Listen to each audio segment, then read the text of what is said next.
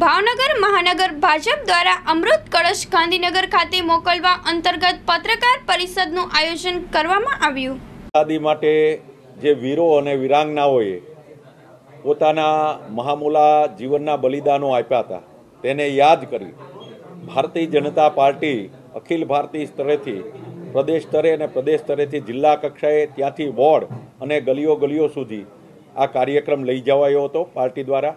દરેક ઘરમાંથી ચપટી ચોખા અને ચપટી મીઠી એ હુતાત્માઓને યાદ કરી કાર્યકર્તાઓ અને વહીવટીતંત્ર દ્વારા એકત્રિત કરવામાં આવ્યા છે. આગામી સમયમાં આ મીઠી અને ચોખા અહીંથી ગાંધીનગર ખાતે લઈ જવામાં આવશે. સત્યાવીસ તારીખના રોજ કર્ણાવતી એટલે કે અમદાવાદ ખાતે રિવર ફ્રન્ટ ઉપર ગુજરાત રાજ્યનું એક કાર્યકર્તાઓનું આ સમાપન સમારોહનું મહાસંમેલન છે.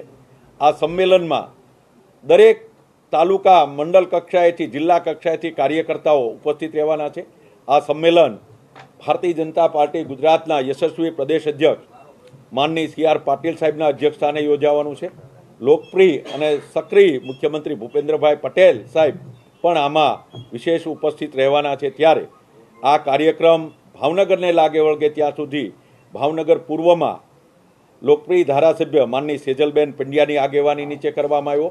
એવી જ રીતે ભાવનગર પશ્ચિમમાં અમારા ગુજરાત પ્રદેશના નેતા અને સક્રિય ધારાસભ્ય જીતુભાઈ વાઘાણીની માર્ગદર્શન નીચે કરવામાં આવ્યો. આ કાર્યક્રમમાં આપણા જિલ્લાના લોકપ્રિય સાંસદ માનની ભારતીબેન શિયાળ પણ જેટલા વિધાનસભાઓમાં શક્ય હોય એમાં સામેલ થયા હતા. એમનું પણ માર્ગદર્શન મળ્યું હતું. અમારી સંગઠનની ટીમ, મારા સાથા મહામંત્રીઓ ભાઈ શ્રી પાર્થભાઈ, નરેશભાઈ, અલ્પેશભાઈ અને આખી ટીમ ચૂંટાયેલા સૌ જનપ્રતિનિધિઓ બૂથથી લઈ અને પ્રદેશ કક્ષા સુધીના નેતાઓ આ કાર્યક્રમમાં એકત્રિત થયા હતા. આ કાર્યક્રમ લોકો સુધી અમે લઈ જવામાં સફળ થયા છીએ. અને ઘર તિરંગા હોય કે મેરી માટી મેરા દેશ હોય, એ કાર્યક્રમો અમે જનજન સુધી ગયા છીએ. ત્યારે આજે પણ એવું લાગે છે કે દેશની ભાવના લોકોમાં આજે પણ પડી છે. આ નિમિત્તે અમે સત્યાવીસ તારીખે ભાવનગર મહાનગરના સૌ કાર્યકર્તાઓ આ રિવરફ્રન્ટ ઉપર યોજાનાર સંમેલનમાં જવાના છે અને વ્યવસ્થા પણ સંગઠને તમામ કક્ષાએ પૂર્ણ કરી છે.